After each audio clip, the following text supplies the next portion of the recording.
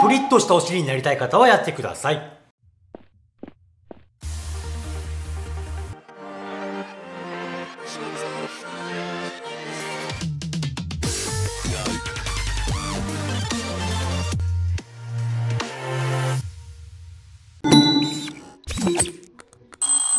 はい、皆さんこんにちは、タートルです。今回ですね、ででんバランスボールを使って、プリッとしたお尻になりたい方におすすめなエクササイズを紹介します。たったの10回程度でいいので、いつもやってるエクササイズにプラスして頑張ってもらえたらと思います。お尻と太ももの付け根がない方とか、後ろから見たらお尻が四角い感じの方、そういった方におすすめなエクササイズになります。では説明します。まず、うつ伏せになるんですけども、ボールの真横をくるぶしで挟む感じですまずこういう感じでボールを挟んでください。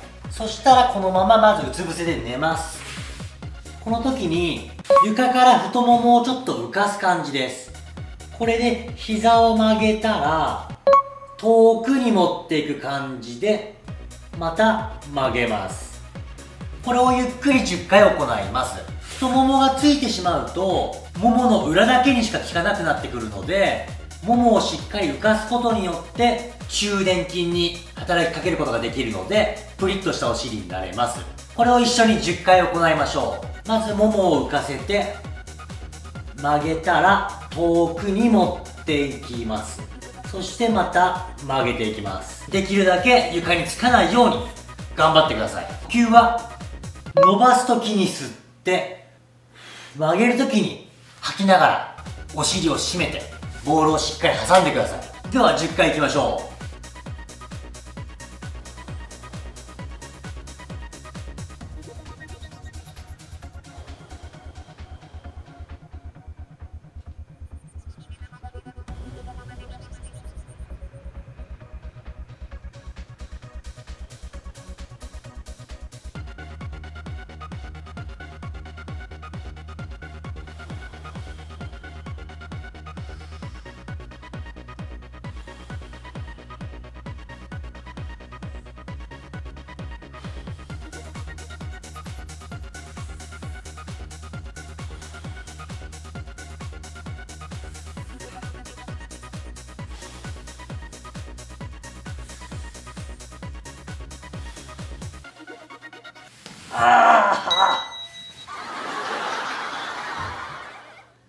お疲れでした。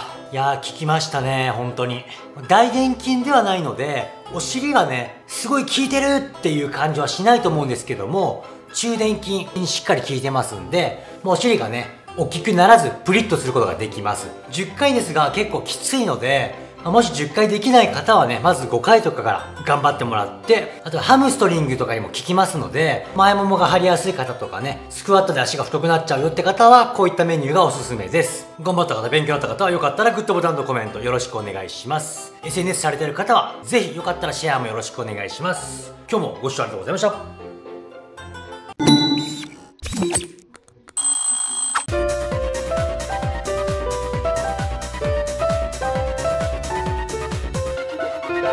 for